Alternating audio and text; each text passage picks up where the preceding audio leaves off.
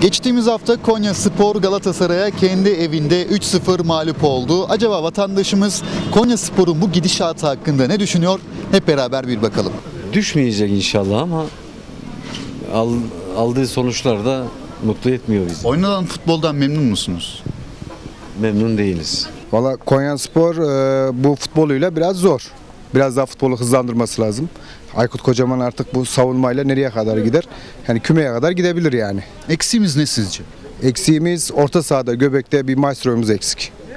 Ve e, sol e, bekimiz herhalde geldi. E, sağ bekte Skubic'in formsuzluğu da devam ediyor. Düşer mi Konya Spor?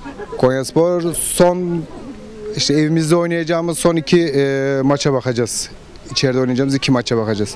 Onlardan 6 puan çıkarırsak ligde kalabiliriz de. Teknik direktörün biraz daha e, savunma oynatması, hücumu fazla düşünmemesi. Sorun bu. E, sorun biraz buradan kaynaklanıyor. Biraz daha dikine oynaması lazım Konyaspor'un. Aykut Hoca korkak oynatıyor. Konya'mıza Türkiye'nin önüne gelen şehrine böyle futbol yakışmıyor. Sorun teknikte mi sizce? Bence teknik hoca da Aykut korkak oynatıyor gitsin bir an önce. Ya onu diyorsun da Allah'ın aşkına şeyi niye demiyorsun da ya? Onu diyorsun da futbolcuları niye demiyorsun da Allah'ın aşkına ya? Aykut sorun Aykut. Şengella gibi Mia gibi çabuk adamlar defansı yıkacak adamlar oynamıyor. Ya senin Biraz cesaretli olacak. ya senin kemik takımın oynamazsa ne yapacak Aykut Hoca Allah'ın aşkına? Ama hoca oynatacak. E, Ne? Hangi futbolcu gelse olur abi? Nereye gelse olur? ya orta sahaya bir beyin şart. ya öyle diyorsun da Allah'ın sıkı buçuk geldi oynadı bu sene hiç oynadı mı? Çıkı. Oynadı mı bu sene? Hangi, A- e, Ömer Ali Şahin'le oynadı mı? Konya'mızın yeri Bırak, ilk bırak 5. Allah'ın aşkına, Bırak bırak. Lütfen e, Yılma, İlmi Kulluğa da sesleniyorum. İlk 5 Konya'nın. Konya düşerse ne olur?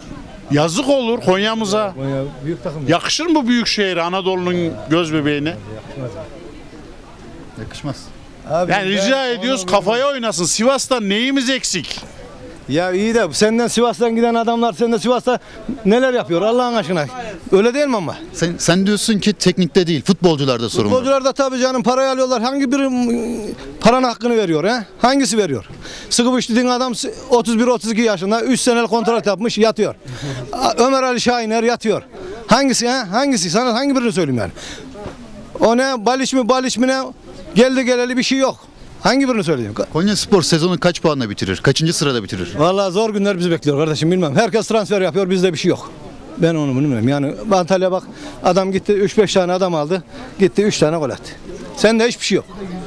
İsmini duymadan nereden bilmem nereden toplayıp toplayıp gelen öyle. Ukrayna'daymış bilmem Gürcistan'darmış. Nereye varacağım bunlarla? Vallahi hiçbir yere varamam kusura bak. Yazık Bu ya. transferler teknik direktörden geçiyor sonuçta. ya teknik direktörden geçiyor demek ya para yok. Para yok yapamıyor adam. Peki para olarak maddi destek verir misiniz bir kampanya başlatılsa? E, Verilir tabii canım adam o- bak- 10 lira 20 lira bir dünya esnaf var 50 lira 100 lira veren var 1000 lira verir. Tabii olur niye olmasın yani. Eskiden bir zamanlar olmuyordu. Ahmet Herkes verir diyorsun. Sen de verir misin? Ben veririm. Ben fanatik Konya sporluyum zaten. Ne sence sorun ne Konya Spor'da? Bir Hilmi Kulluk yönetiminin değişmesi. iki de Aykut Kocaman'ın gitmesi. Yani futbolcularda hiçbir sorun yok aslında. Bence Konyaspor düşmeye düşmez ama işte dediğim gibi korkak oynatmasa içi dışarıda daha iyi oynuyor mesela. İçeride aynı oyunu oynayamıyor. Savunmaya dönük oynatmamız mı sıkıntı? Acık ondan gibi yani biraz da öbür türlü denemesi lazım. Yani hep savunma savunma. Yani Peki bir kampanya başlatılsa maddi destek anlamında destekler misiniz? tabii ki desteklerim.